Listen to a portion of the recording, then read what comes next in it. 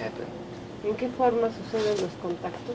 Eh, a mí hay una sensación muy especial que se me presenta a, a esta altura del plexo solar. There is a sensation concentrated in the plexus, in the solar plex of Mm. his body. Es una sensación como cuando uno está fuertemente enamorado. It is a sensation very much alike when you are uh, tremendously in love. Y esta sensación me despierta. And this sensation sometimes wakes him up at night. Y sé que voy a tener un encuentro con And ellos. he knows he's going to have an encounter with them. Sí. Eh, lo que me agrada de, de esta experiencia que he tenido What he likes about this experience he has, he has had, es que la comunicación que ha habido con ellos is that the communication they have been having es como la comunicación que estamos teniendo tú y yo en este momento. is just as we are now.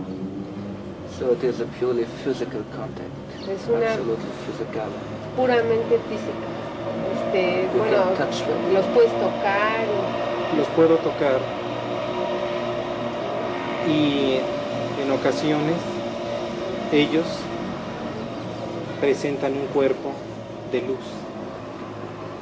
sometimes as as as they are human like sometimes they have a, a body made of light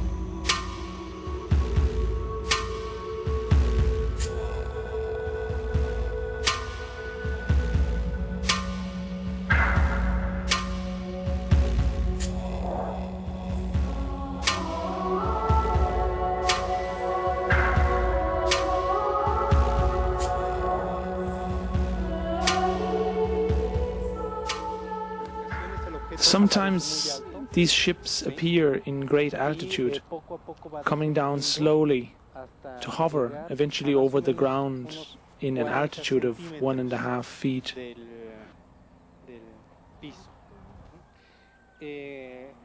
Lo que ocurre es que conforme más alto, más arriba, When it is still in great altitude, the movements of the ship are very unstable. But when it hovers over the ground, it is completely static. está aquí cerca del terreno, ¿sí?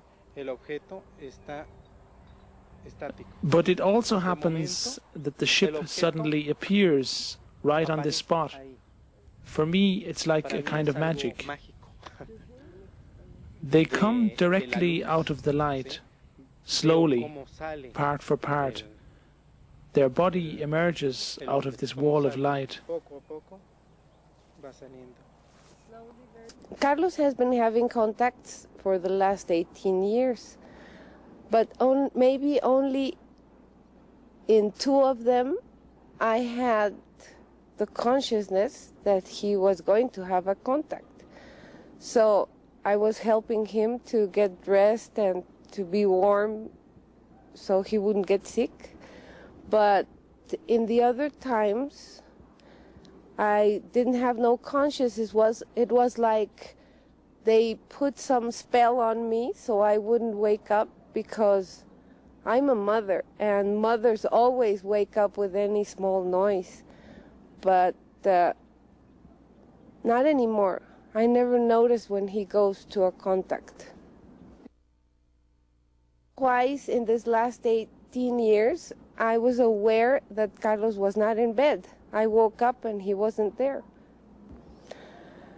Uh, at the beginning, I just said, well, he might have gone to have a contact. So I was okay. I was feeling fine. Didn't you have the temptation to go out? I had never had the temptation to spy on him. Never. Why? I don't know. I am very curious and I really would like to know more about his contacts, but I never felt the need to spy on him.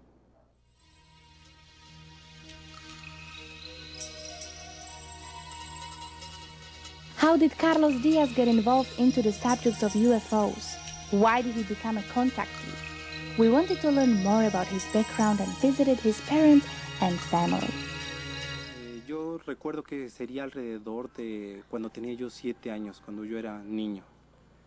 I was Eh, very little, around seven. o era Navidad It was at Christmas or the New Year.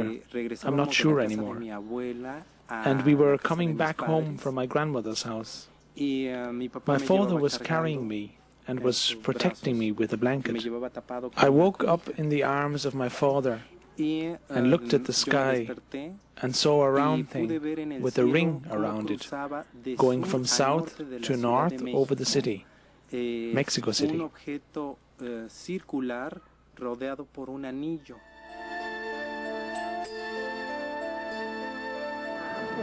Eso sí, eso siempre. What kind of um, child was Carlos Diaz? Was he special in any way? Carlos? ¿Era especial de alguna manera especial? Sí, Sí, In what way? era muy como de investigation. Ajá, Le he was- gustaba la investigación. He, was, he always liked investigation. Was he interested in outer space, in UFOs? Estaba interesado en cosas del espacio. desde, desde pequeño. Ajá, since he Desde chiquito. Le pedía a los Santos Reyes un casco de astronauta. He would ask for Christmas a, a, an Ah. astronaut uh, hat. Sí, le pedía a los Santos Reyes. Y robots y Y le- he would ask for rowboats. Y veía like that. películas de. And he was always looking TV shows from space. Pues porque es una coincidencia que cuando él viene es cuando vemos a los ovnis. Because how come it, it, it, it mustn't be a coincidence that when he comes we can see the UFOs. Como que lo andan buscando. It's like they're looking for I think he had contact since he was little without knowing it. And that's Sí, why he was so attracted by space. Este incidente ocurrió en el año de 1979. Eh, en aquella época vivía en la casa de mis padres y eh, ah, It happened in 1979, very early morning, veinte, seis y media de la around 6:20 or 6:30 a.m. I woke up by a strange feeling in my solar plexus. un hueco que quedaba I saw a light reflecting on the wall, and it entered from a small triangular opening curiosidad hizo que me the curtain left from the qué era lo window. que estaba sucediendo. I got very curious, and so I got up and looked out of the window to see what was going on. eh, la ventana no se encontraba iluminada. When I opened the curtain very slowly, I saw up in the eh, sky a yellow object, forma de huevo, very much in the shape of an egg, eh, which was suspended suspendido en el there. I shared the bedroom with my brother, a mi hermano, so I called him immediately and said, Antonio, Antonio, come and see. There's a UFO. Antonio, Toño, Toño, ven, He put his ven a ver un blanket above his head and said, What? A UFO? I don't want to see a UFO. "¿Qué ovni ni I want to sleep." déjame dormir. Al siguiente día So I kept on looking at the Eh, object for some moment, and then the object despertador a la left with a very high speed. ¿Sí? Más bien puse el despertador a la The next day I set the alarm clock for the same hour I saw the object that day. And I was waiting eh, that it después de unos returns. cuantos segundos nuevamente, And indeed, I saw the object again. arriba. El cuarto día, And after a few seconds, the object flew away again. So on the fourth day, cómo el objeto I had my camera ready on a tripod with a cord trigger. Ciudad de México, The object came from east to west over the city, disparador de cable, and I was able to take a picture. obturador de mi cámara, I y opened the shutter for four seconds. I was afraid it would fly away, solté porque tenía yo and I de que el captured it on film. desplazara y saliera la I was very glad I did that to have an evidence in my hands for my brother. había quedado impreso en la emulsión de la película fotográfica. No, creo que a las 4 de la mañana, No, eran 6.30 de la mañana. seis y media, Más no, lo, seis y no lo vimos. Nomás estaba emocionado. Uh-huh. Uh, we didn't see him at the real moment because it was very early in the morning, but uh, after that he was very uh, excited sorprendido. and surprised. Eh, después de como ocho The one who was mostly shocked was cuando Carlos' brother, who did not believe in these objects. Mostró hermano, He was awakened by Carlos, but didn't want to get up vio la foto, entonces because he didn't believe. certificó que sí So when he saw the picture, he was very surprised. No, no- Este, no se quería No se levantar. quería levantar a verlo y él sorprendido le decía, mira, mira, ven. No, yo tengo sueño. The films and photos of the so called ships of light taken by Carlos Diaz are considered by many UFO researchers the best in the world. Others rejected them as being too good to be true. The Mexican optical physicist and computer expert Professor Quesada is convinced that they're real. But this was just one single opinion. To verify the results of his analysis, we consulted leading experts in the US, Italy, and Germany.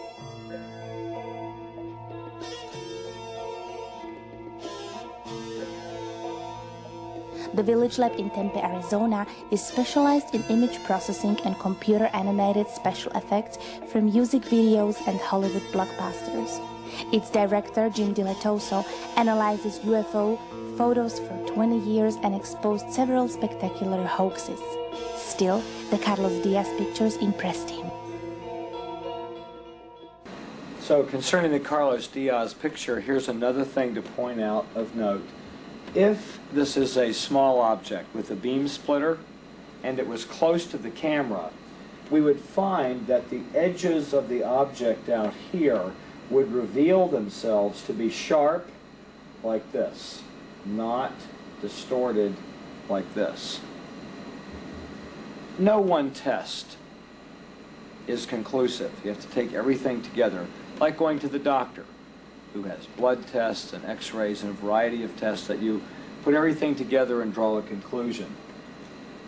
The fact that we have a distortion out here and sharp edges here is one factor, one factor that indicates that this is probably not a small model in the beam splitter or superimposed.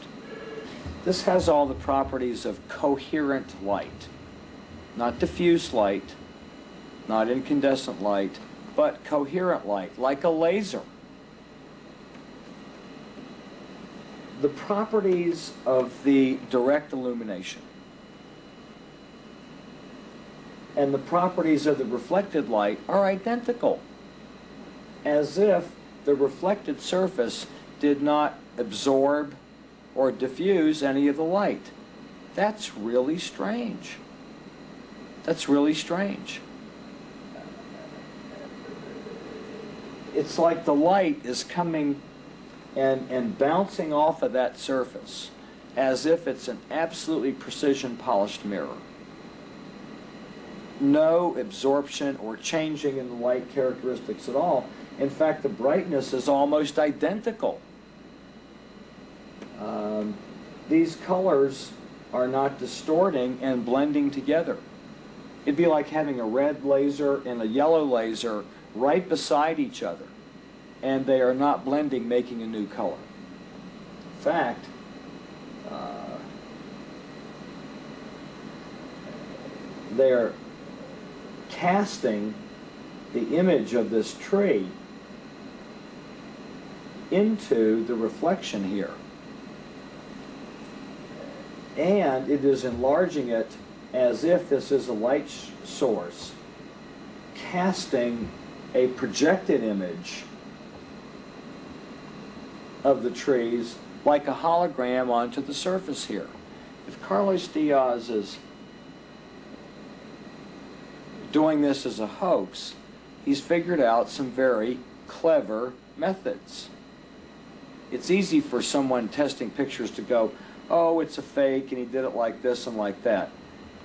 People that say it's a fake, they need to go do this.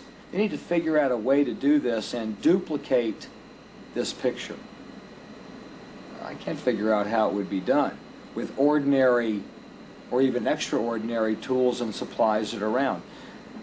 We can use computers and test this thing forever.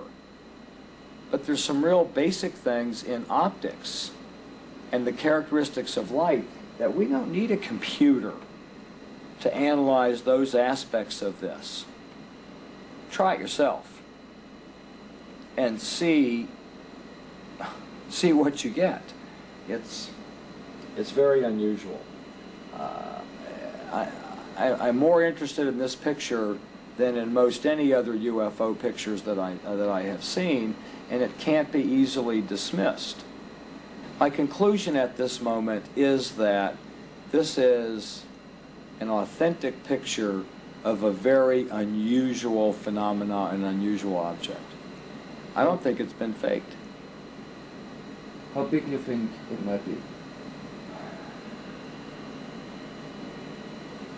I think this is a large object, larger than a bus or a tractor trailer truck, 40, 50, 60 feet, because of its unusual uh, luminance, light characteristics.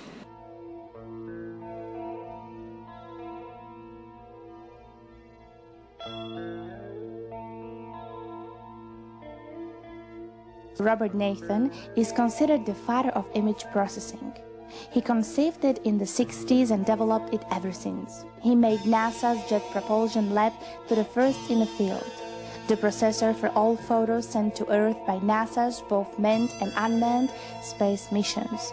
Being a skeptic regarding the existence of UFOs, Dr. Nathan was the first address for us to consult. I, have been presented this image a year or so ago, and I didn't give it any particular amount of time.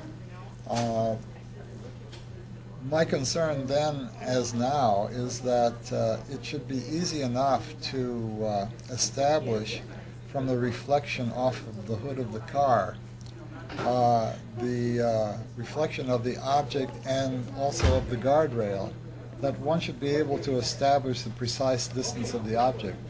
If the object is claimed to be many meters away, it looks immediately obvious that the uh, parallax information, the, the change in the position of the object as seen off of the hood as compared to seen directly from the uh, direct line of sight from the camera is inconsistent with an object that is that has any distance. It looks as if there is some kind of model that was placed quite close to the railing of the uh, car, and uh, some careful measurement will either bear that out or not. But that's a worthwhile measurement to make by somebody who wants to take the effort.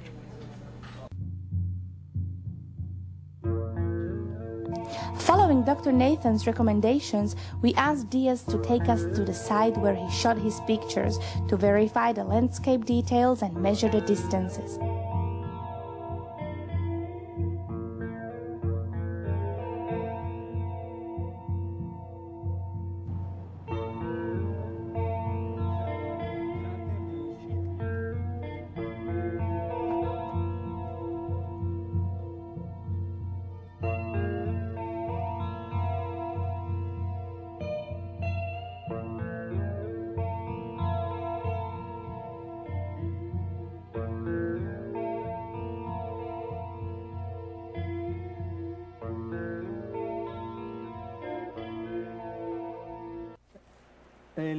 Objeto se encontraba The object emerged beyond these trees. It was rising from the gorge and moved up eh, little by little. del valle, y fue ascendiendo poco a poco.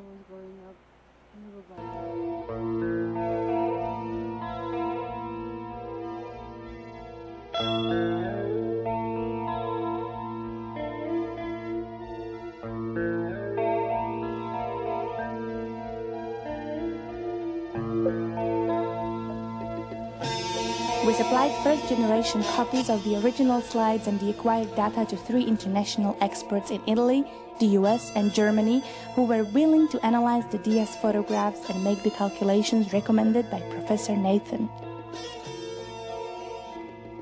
Uh, le fotografie di Carlos Diaz sono estremamente interessanti. Quelle che abbiamo The photos of Carlos Diaz are highly interesting. I tested three of them very carefully. They show a luminous object, red and yellow in colour, ascending behind clearly visible reference points, behind a guardrail, bushes and trees, in front of a hill or mountain, in a landscape which it partially illuminates with its orange light. This object is absolutely real. It is not a montage. It is not projected into this scene.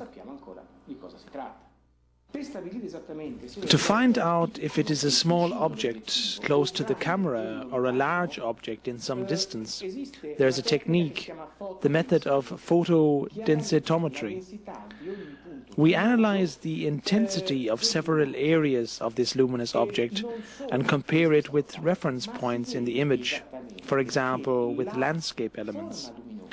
Based on this, we can state with certainty that the luminous object is located within the second level of the image, beyond the trees. In the foreground, you see the hub of the car and the guardrail, then the trees and bushes, and behind them, in some distance, we have the luminous object. Based on this distance and in relation to the other objects in this image, we calculate a minimum distance of 33 feet, most probably much more. Therefore, the object photographed by Diaz must have had a diameter of at least 60 to 90 feet. grosso modo più di 30 metri. I can only say that none of us, Rolf Dieter, Klein, and myself, after analyzing the picture, found any indication of any known method to fake such a picture. We detected no strings, not even when we lighted up the background. No structures of any kind indicating a montage or any kind of manipulation. The object moved within the 15th second of the exposure upwards in a certain degree, not smoothly, but rather in a jerky way. Our analysis has shown that it was not a simple, solid, metallic object, but the complete series shows the phenomena of a luminous plasma field, which was never before documented so clearly. It seems to be an object consisting of pure light, concentrated in a way that it forms a structured craft. The size must have been, according to Rolf Dieter Klein and my own analysis, about 150 feet. It must have been a very large object. My conclusion? All available data indicate the authenticity of the picture with a certainty of 99%. The hypothesis that it might have been a forgery collapsed. I looked at the uh, picture both visually and on my computer uh, quite extensively, and I cannot find anything in the picture that would make me think that it's a faked picture or a small model being photographed or a double exposure or any of the normal ways that pictures like this would be created if it was a create artificial creation. My gut feeling is that the picture is probably the real thing. When, when a, a small object is photographed and then combined with a picture of trees and bushes, there's always a fringing effect around the edge of the tree branches and so forth that, that isn't the same as if you're photographing a real object. And uh, I didn't detect any of that fringing that would make me think this was a composite picture. The trees don't look like miniature trees. I think they're real trees behind a real road guardrail. So I think the object itself is the size that it was stated to be and the size it appears to be. I would think the object would be something on the order of um, roughly 20, 20 meters diameter, something on that size order. Back in Arizona, we showed Dilettoso the first films taken by Carlos Diaz in 1991. This is a still picture. And uh, I've looked at the video also. Like the still pictures, upon first viewing of the video, it looks very suspicious. It looks like uh, an object suspended on a pendulum and moving. But upon more careful examination, the object is moving slowly. Momentum and mass movement around a pendulum would have it moving in a more regular motion. My theory is, having seen other photographs and video of UFOs flying and moving, is that they tether themselves somehow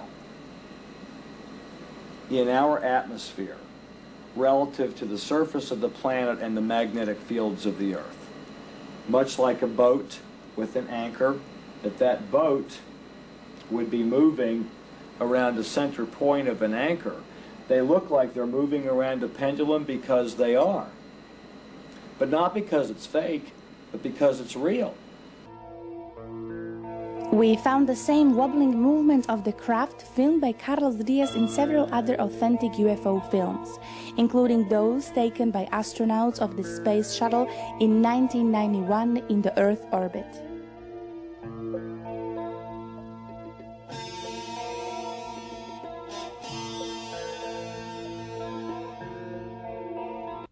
Eh, toman los eh, cinturones naturales de energía del planeta Because they take the, the energy belts of the planet y por momentos entran a ellos and, and sometimes they they travel in those belts, but sometimes they jump out of the belts. y se dejan ir por la energía And when they're in the belts, they let themselves go, uh, flowing with the energy. Y, y, eh, si quieren ellos mantenerse en ese lugar And if they want to maintain themselves in this in one certain place, están eh, actuando un poco en contra they del cinturón de act energía. uh, against fluir the, natural de la energía. flow of the energy of the belt. Entonces por eso se ve, So this is why you, los you brincos que- how que they hacen. how they jump. pero en el momento en que eh, se dejan a ir, de- se dejan ir con la corriente, But once they go and uh, and flow with the energy, entonces um, se van a una velocidad then they impresionante. travel at a very very high speed.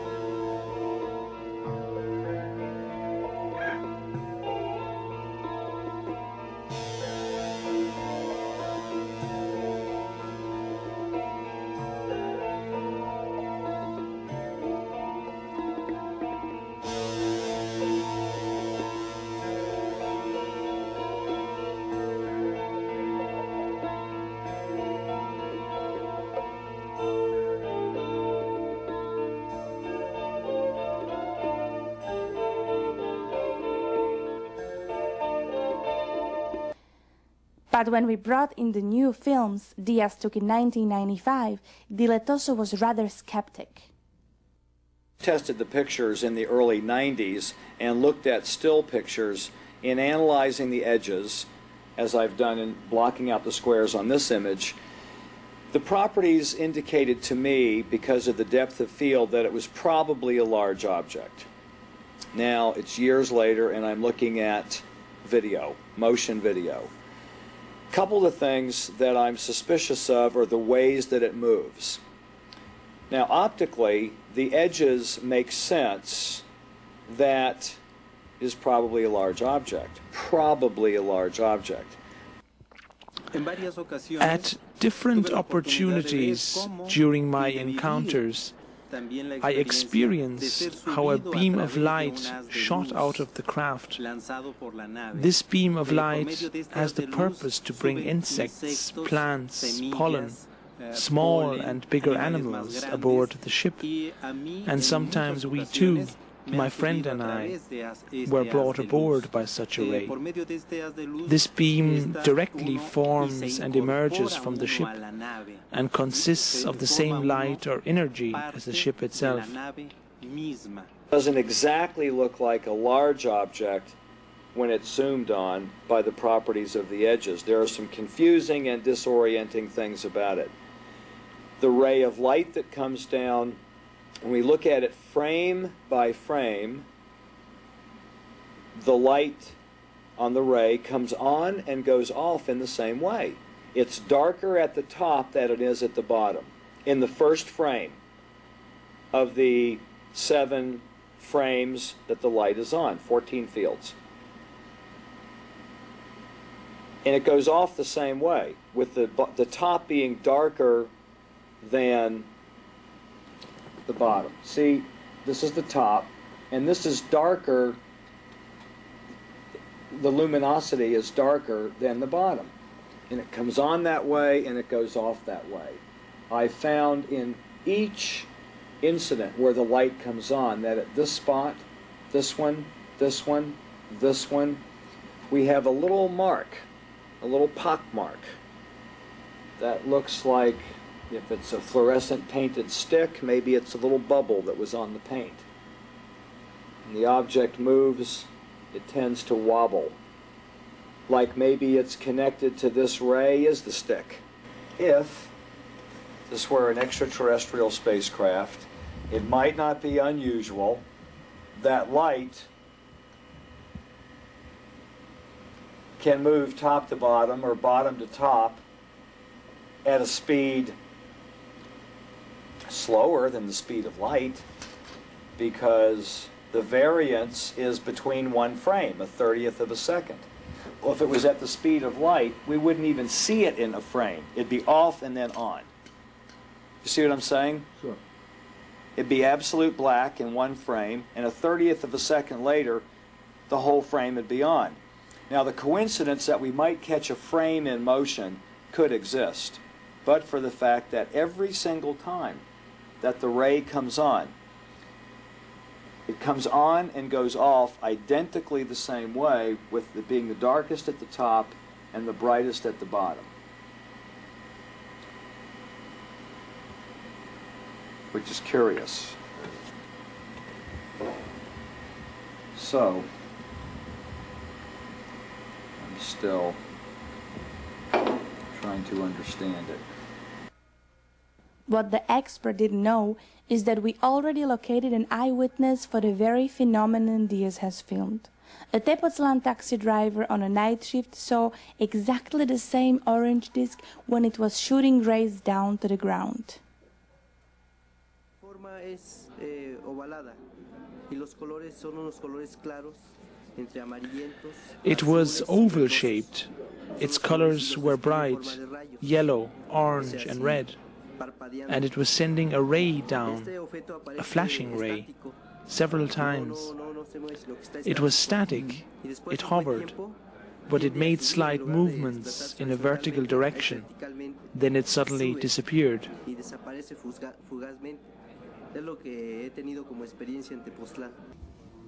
Anyway, we were still skeptical about the new footage. But since one of the films contained clear foreground data, it was easy to find out if it was filmed in the real nature or on a tabletop with the use of a miniature tree. We therefore asked Diaz to take us to the site where he took his film.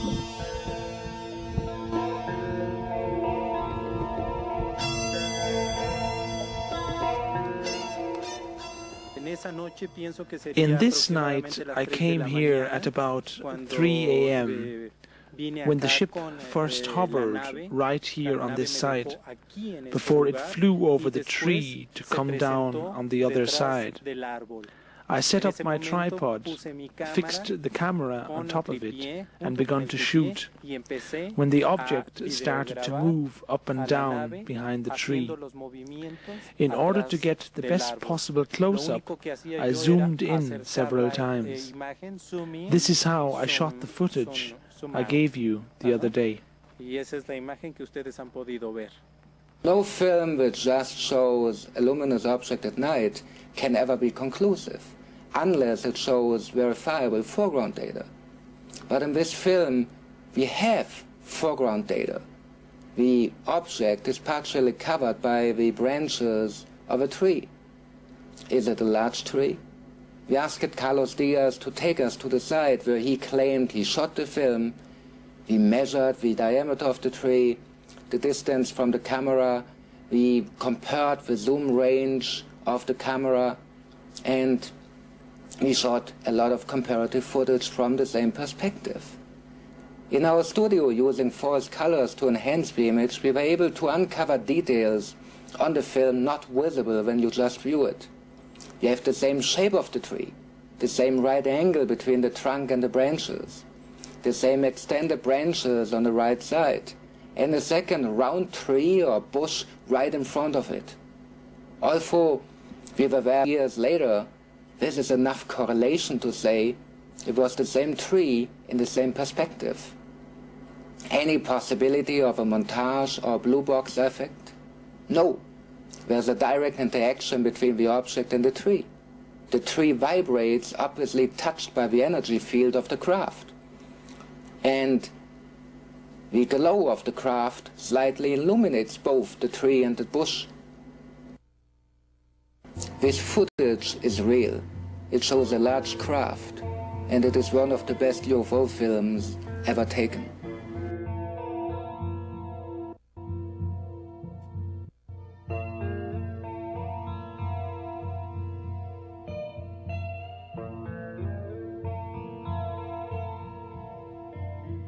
Caso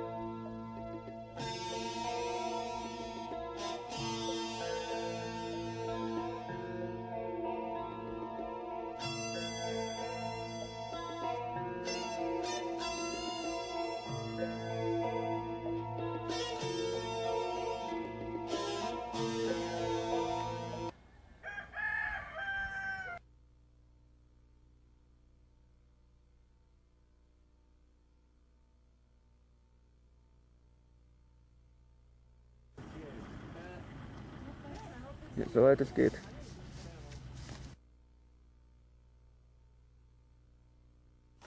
Stop!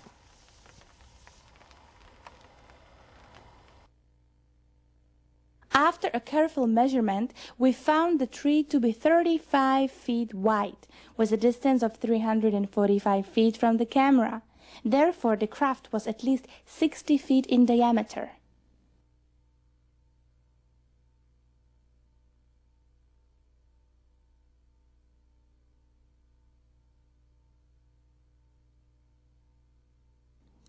But and the Carlos Diaz UFOs unique, never before seen anywhere on Earth?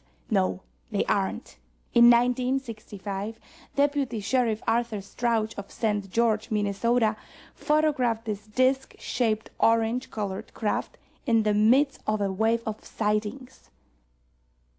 On May the 4th, 1994, a cameraman of the local station TV Roma filmed this craft near Ostia, the ancient harbor of Rome.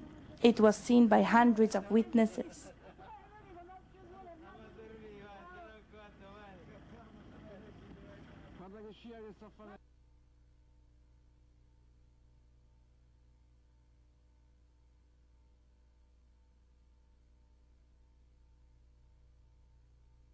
In the enlargement, the same details are visible as on the Diaz films. Furthermore, little bolts of light are obviously dropped from the main craft, the same type of luminous spheres as they are regularly seen over Tepoztlan.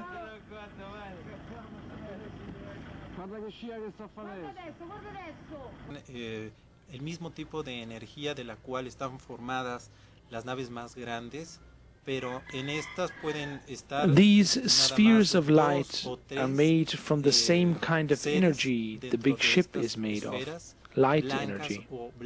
Some are unmanned, some have one or two people aboard.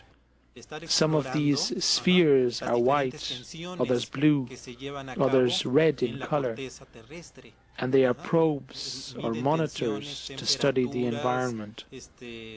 They explore the different life forms and conditions on Earth, many things. They don't interpret, they just study and collect the data and emotions involved. Since they are energy, nothing can stop them. They can go through anything. They even come out of the rocks. puesto que al, uh, ahora sí, siendo energía no hay nada que lo, los pueda detener.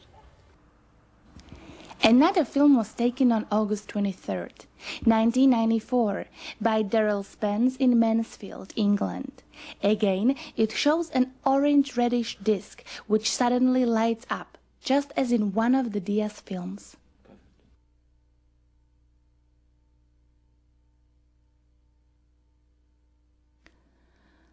What causes this strange luminosity?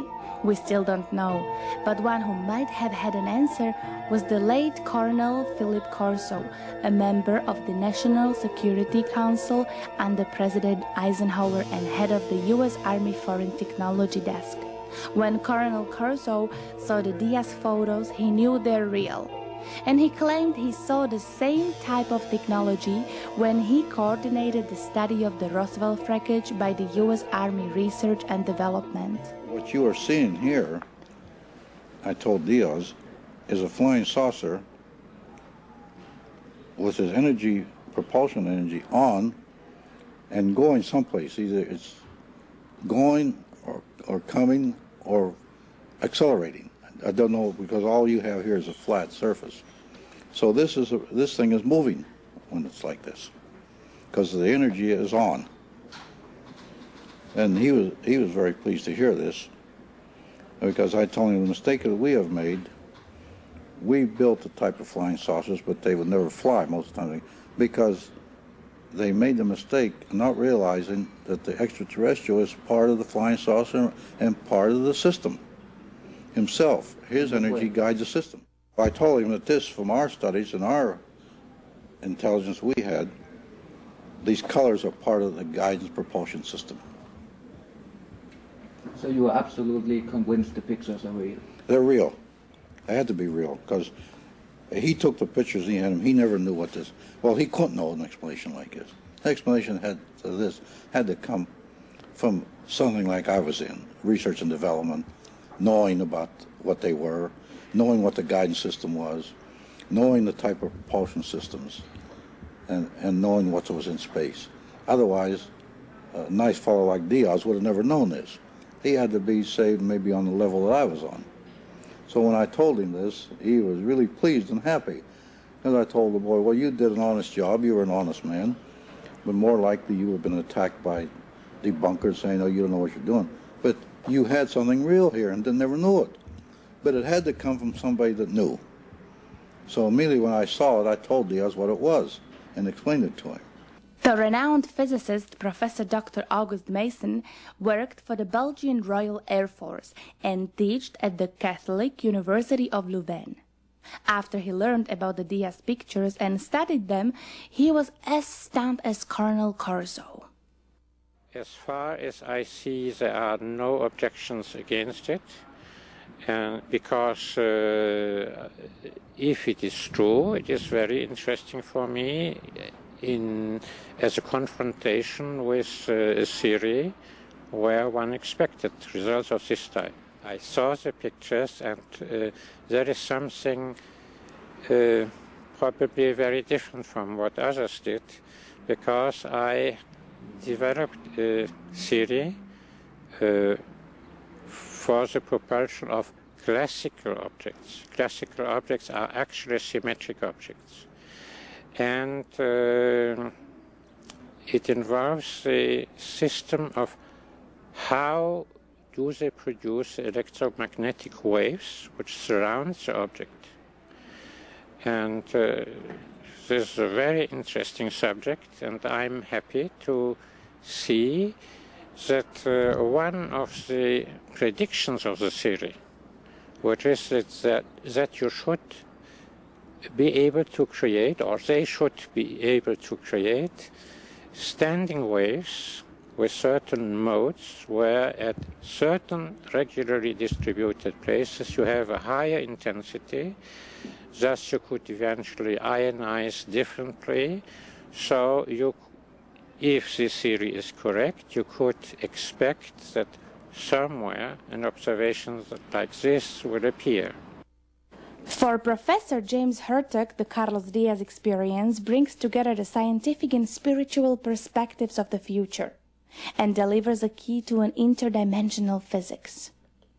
Carlos Diaz documents are very important because they show a different category of intelligence, what could be called the bioplasmic form of intelligence that is even beyond the extraterrestrial, which is using metallurgical or physical spacecraft.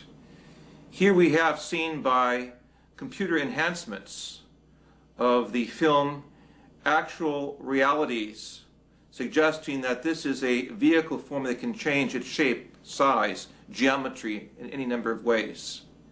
It comes close to what is called in the ancient documents of the prophets of the Western civilization the Merkaba, or the vehicle of lights. In short, we are seeing in the Carlos Diaz material a whole new category of the UFO experience we are going beyond the extraterrestrial into what could be called the ultra-terrestrial intelligence that is existing in a pure energy state. We are looking at a vehicle where there's no physical door, but has the opportunity to work with morphological energies that will open up a paraphysical door through which the contactee, in this case Carlos Diaz, will move into the vehicle, pass his physical hand through a body of energy, see no physical participants but feel an omnidirectionality of energy. This case merits more study because it signals a graduation of ufology into another category, that of the ultra-terrestrial beings of intelligence, and will open a door to a whole new physics that will accept the possibility that there is a life so advanced that exists in a pure energy form, capable of manifesting itself through superluminal light without a physical form.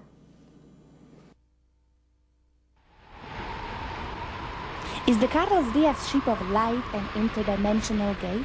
A projection from a parallel universe? An alien spacecraft? Why does it appear so frequently over the village of Tepoztlan? Is there any connection to the ancient cultures of Central America? Only the experience of a simple young man from Mexico might be the answer to all these questions. Es la primera vez que él me invitó conscientemente a entrar a una nave. Eh, vi cómo él se metía a esta neblina de luz. The first time he invited me to go consciously into a ship, I saw my friend getting in first. He went through this fog like light when more than half of his body was inside of the light, his body got sucked into the object. So what I did first is that I put one hand into the light to feel, and to my surprise, it went through the light, and inside I felt a nice temperature. When I took my hand out, I was very relieved to see it was still in one piece. So that gave me the confidence to walk in. And when I had my body halfway inside the object, I was sucked into it too. But once you are into it, there is nothing you can see. You just see yellow light all over. You don't feel your toes, you don't feel the floor, but the sensation is very peculiar, because you feel very peaceful with a lot of love within you. Lo que habíamos hecho era salir del objeto, salir de esa gran nave. Y empezamos, me di cuenta que estábamos en el interior de una gran eh, Once, when I came out of the yellow light, I realized I was not at the same place, but I was in a big cave. It had stalactites and stalagmites and between them I saw several sculptures and ornaments, which were of the art of the Maya culture. This big cave was the place where the ship hovered, and there was a kind of path we walked through, and we came to another cave, and I saw there many people who were very kind to me and greeted me, very nice people. But the particular thing about this cave was that there were seven egg-like spheres of yellow light.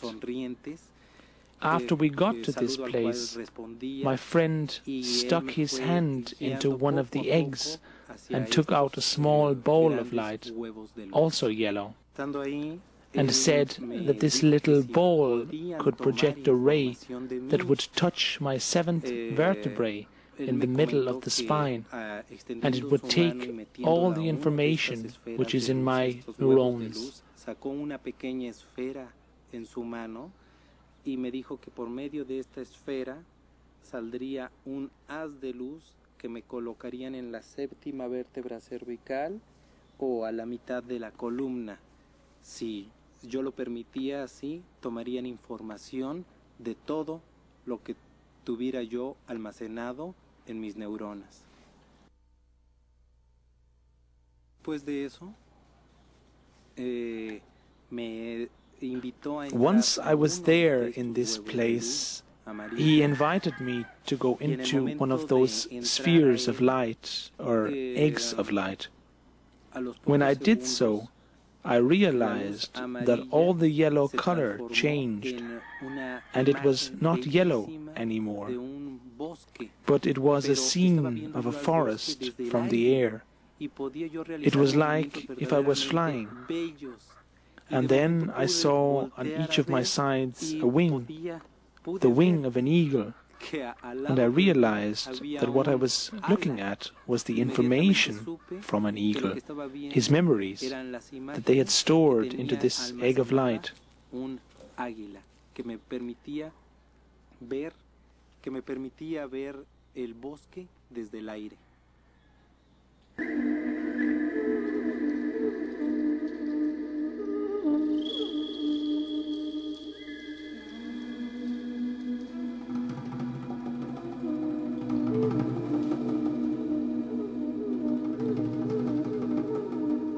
Does Carlos' experience indicate a connection to the ancient culture of the Maya, one of the oldest and most mysterious civilizations on the American continent?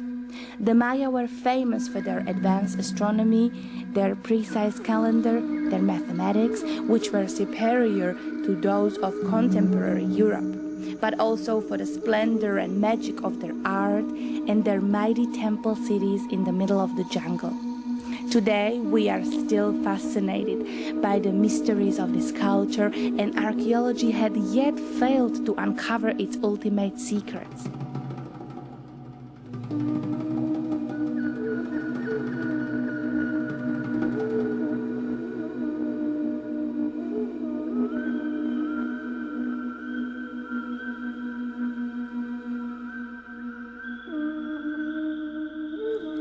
Several researchers speculated about a possible extraterrestrial connection.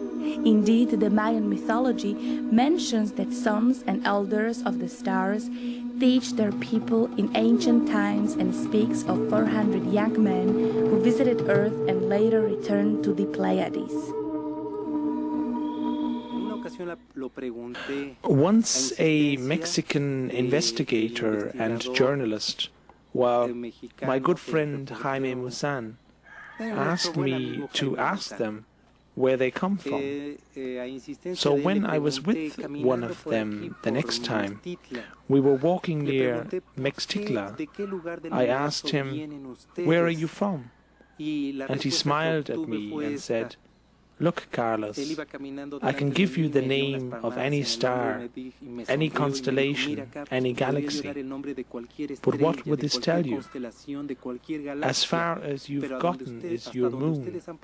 So it makes no sense if I tell you where we come from, since you can't go there and verify. For me, this answer was enough, even though when I was with them, I once heard them to mention a star named Maya. And when I looked into an astronomy book, I found out that there is, in the constellation of the Pleiades, a star named Maya. Maybe this is where they come from, but I really don't know. Thank you.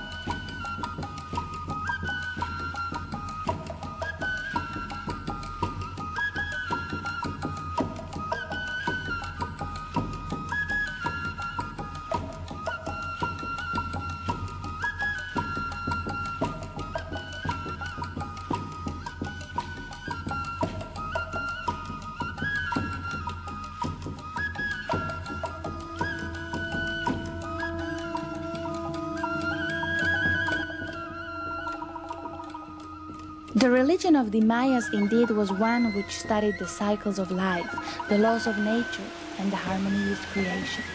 They celebrated the fertility of the jungle in impressive ceremonies. The Mayan priests and shamans identified themselves and during their rituals became one with animals and plants, with the sacred quetzal bird, the free flying eagle, the busy ant, the fierce jaguar, or the wise snake. Is it a coincidence that a similar identification with the life forms of Earth in the mystery caves of the X of Life teach Carlos Diaz the necessity to work for a better world? To campaign for a living planet?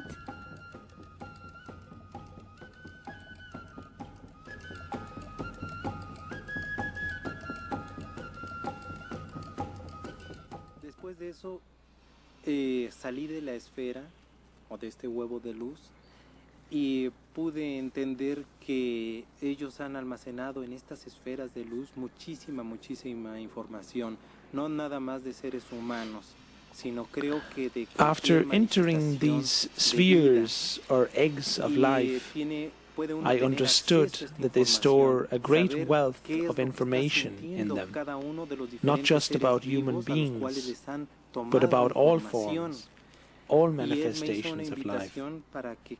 They don't only store images, they also store senses. When you are there, you feel like an eagle, like a bird. I felt joy, I felt fear, and I have seen many types of environments the sea, the ice, jungles. What I have learned from this is that every living thing is important for this wonderful planet. They also offered to show me what they have stored about the past of my own life, but I didn't want to know because what I want to do is to go forward and to try to act with all the things I have learned to live this experience. I had experienced that there is a wonderful interaction between all living things, but this interaction went out of control. Every individual, every species is an important part of this interaction. This is the reason why I want to share all this with the whole world to invite the people to act in order to save the earth, to make it a true paradise for all living creatures, and to inherit our future generations a living planet.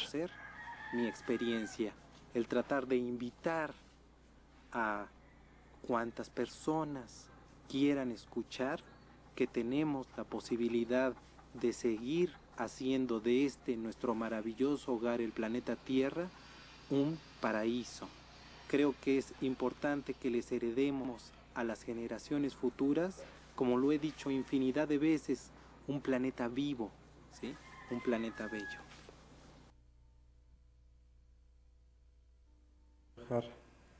al campo de fútbol y espero que se presente algo puesto que la sensación es bellísima. Es muy muy muy fuerte.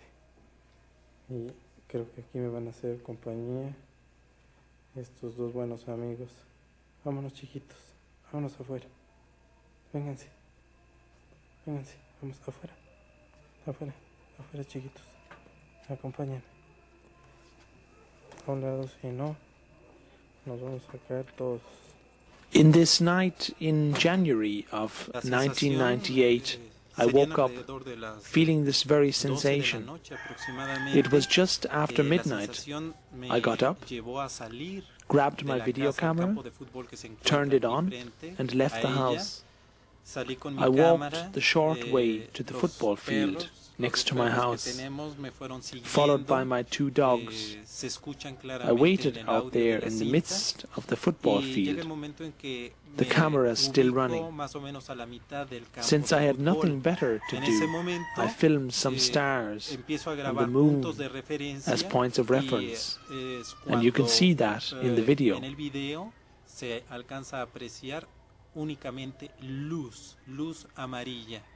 Después de unos cuantos segundos eh, me encuentro fuera de esta luz y es cuando tengo conciencia de Suddenly, que me the ship appeared dentro just de la above me, a sea of light, veo a la nave, yellow light all over. eh, como, eh, Seconds se, later, eh, I found myself inside of a very big, dark cave. tiempo, In some distance, a ship appeared and disappeared again and again.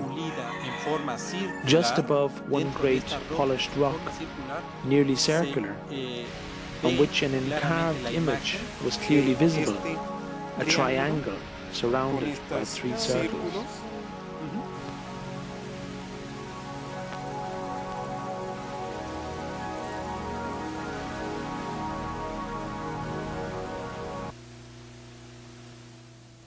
Sign? The same symbol appeared in July 1991 in a wheat field near Barbury Castle, England. Its origin, like those of others of the mysterious crop circles, was never satisfactorily explained. The triangle means the interaction between soul, body, and mind, the harmony that should exist between these three states of a living being. And the small circles in every corner of the triangle mean the simple ring stands for nature, the circle of life. The one which looks like a wheel stands for movement. And the third one, the spiral, for the evolution of the consciousness of humanity, which in every mind grows like a spiral. And it altogether moves into a higher state. It was meant to teach me exactly what I felt. This is how my experience takes place. They don't talk to me much. They make me feel things and be aware of things. And that's how I've been learning.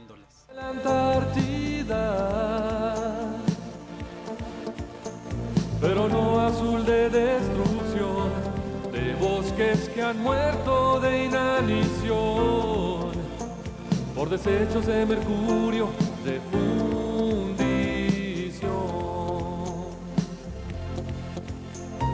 Blanco como garza, cuando cruza los pantanos y blanco como espuma de las olas y la luna, blanco como estrellas que se pierden en la inmensidad.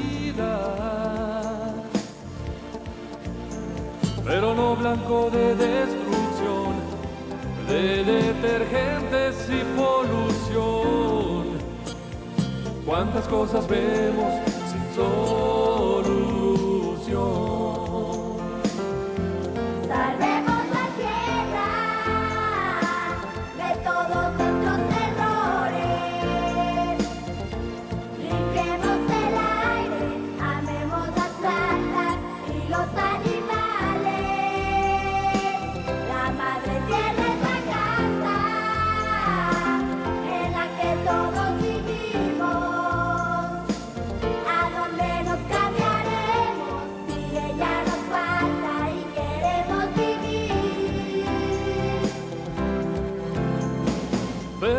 Como que en el cielo se despliegan y verde como selvas de lagunas y reservas. Verde de delfines que jugando van cubriendo el mar. Pero no verde de destrucción, de colorantes y combustión. De seres extintos por ambición.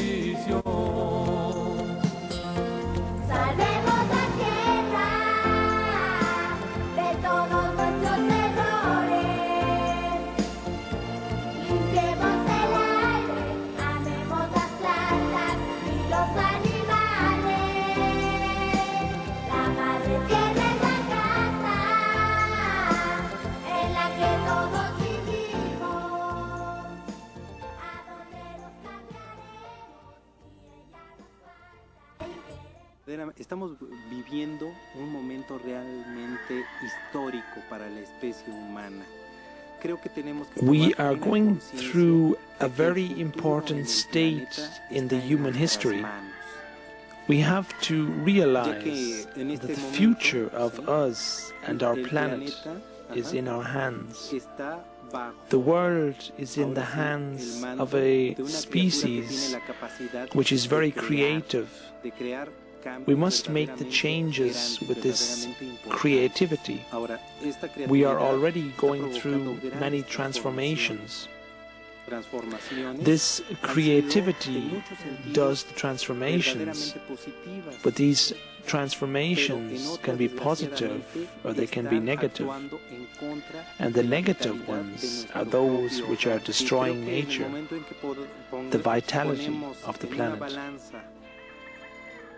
Las eh, dos partes de la creatividad del hombre, nos daremos cuenta que está dominando más aquella que está acabando con la vitalidad del planeta. If we don't dar a conocer put into balance the positive and the negative things which we are doing with our own creativity, personas que quieran the negative side will get more and more powerful and destroy life on earth. Y la maravillosa posibilidad que tenemos de actuar para poder seguir haciendo de este planeta un planeta vivo. Creo que es My es una de intention in sharing this with you all o de las is to invite de las más people to act decisiones que ha so we can keep ser humano en working for life. el de seguir haciendo I want to invite the people who want to listen, who want to see, who want to do something about it, to work for life on earth, so we can keep this earth alive. I don't share my experiences with the world to convince people of the existence of extraterrestrial life. But this experience has made me aware of the wonderful home we have. And I do believe that if we learn to respect and love life, the encounter with them will be inevitable.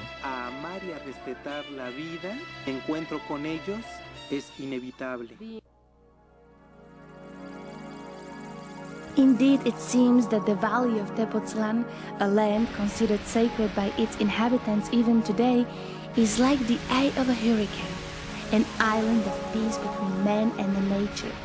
Therefore, it doesn't really surprise that it also became a cosmic enclave, an outpost of those who ride on the oceans of the universe.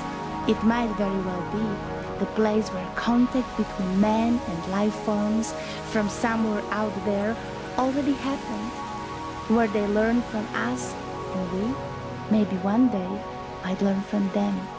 A place where heaven and earth meet.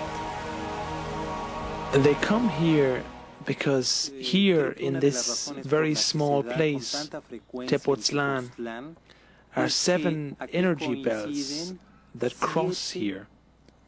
And they use these energy belts to travel like we are using highways. That's why we have so many UFO sightings here. Therefore, it is so familiar to the people in Tepoztlan to see these objects because they have been here since a long time ago. And for generations, people in this place have seen UFOs over the hills. It's a very uh, magical place. It's very spiritual. It's very beautiful. It has traditions of uh, strong contact with the Aztec gods. Uh, it's uh, it's kind of a spiritual cutting-edge place in the New Age community in Mexico, and there's a political element here, a kind of expression of um, not wanting to contaminate uh, their uh, environment with resorts, golf courses. Uh, to avoid that, there's this kind of consciousness that they have something sacred here and that they don't want to have uh, um, undermined. Uh, so it's an unusual place, and it seems somehow fitting that a man like Carlos should emerge in a in a uh, place like this. Besides that, it is also because we don't have a great air force. There is no way we can bother them. So they are safe here. They can operate here undisturbed because of the great freedom in Mexico. I do think there already is an open contact. If the contact is not being done or signed by politicians, it doesn't mean there is no open contact. They do live amongst us, and they are here since hundreds and thousands of years. They are here trying to understand why we act the way we do. They have learned many things from us. They even admire us as a species because they say that we have evolved faster than they did as a civilization. But because of this hurry in our evolution, we do not really realize the damage we are doing to our planet in order to have more technology.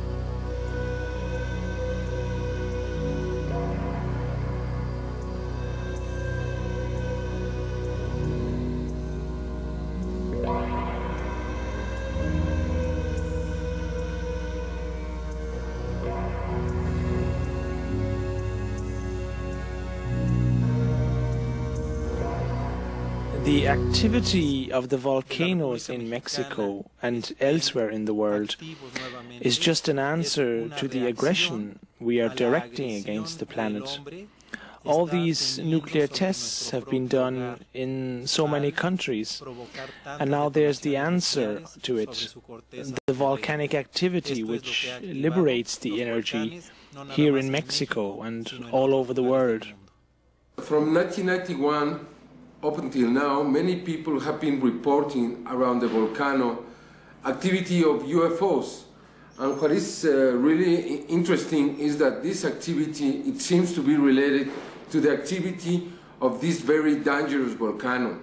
Many volcanologists think that this is the most dangerous volcano in the world because of its history and because there are so many people living very nearby this volcano. They, they were fleets with five, seven, ten, twelve objects. We have even some pictures of that which prove very clearly that is true.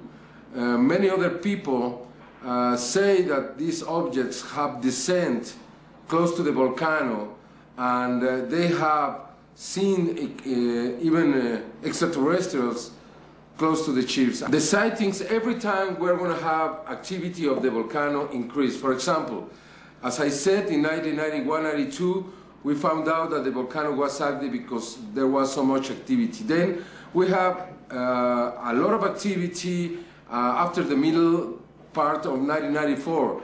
By the end of 94, we were predicting probably some possibility of eruption, and this happened on December 20, 21st, 1994. And then uh, on uh, September 18th, 1998, uh, we were in Puebla and we had many reports of many witnesses of seven objects flying very close to the volcano. And we predicted new activity and new big eruptions. And from November 19th, 1998, we are living a new stage. Uh, we think is the final stage of this very dangerous volcano. This thing, this mountain could blow up, killing hundreds of thousands of people. It could become the biggest disaster ever in human history.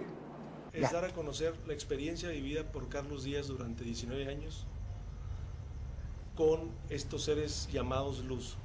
Eh, The purpose of the center is to make the material and message of Carlos Diaz available. Material which has been collected for over 18 years now and has been verified by experts and scientists from all over the world. But it is also to help people which have seen for the first time a UFO, like me, as I was very shocked when I saw a UFO for the first time. The center wants to explain this reality to the people. necesidad o una inquietud que no se puede comentar con cualquier persona, las cuales no han tenido un acercamiento o un avistamiento de esta índole. Entonces, este centro va a recibir a todo ese tipo de gentes que necesiten de alguna explicación para poder hacer descansar a su mente de ese impacto que reciben la primera vez que ven un objeto no identificado. Eh, afortunadamente hemos eh, podido establecer una The center, the organization we are beginning to open, will let people know about the reality of the UFOs and help in the preservation of life on Earth. Como ellos han aprendido a hacerlo en favor de la preservación de la vida.